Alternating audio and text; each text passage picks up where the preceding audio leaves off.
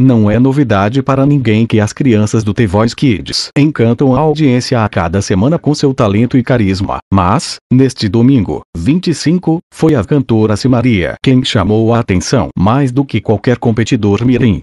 Jurada do programa ao lado da irmã Simone, a sertaneja surpreendeu ao se apresentar vestida com um terninho verde de gosto duvidoso, do qual ela própria fez questão de debochar. Estou mais parecida com Calbi Peixoto ou Dercy Gonçalves. Indagou, bem-humorada.